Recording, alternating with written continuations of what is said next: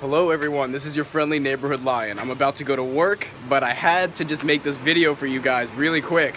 So today I believe is June, June 2nd, 2016.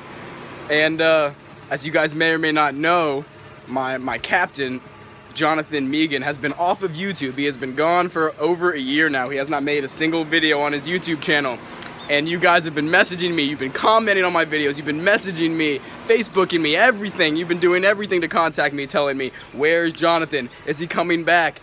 Where is he? Where has he been? What is he doing? What is he up to? So I just wanted to let everybody know that he is back. He has made his first video.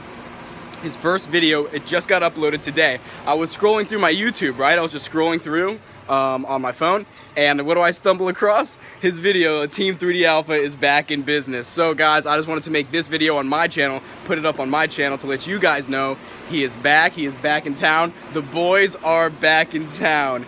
Yeah, buddy. So go check out his channel, you guys, Team 3D Alpha. You can see his video on there. It is uploaded. It is live right now, right this second. Go check it out. It's 30 minutes long.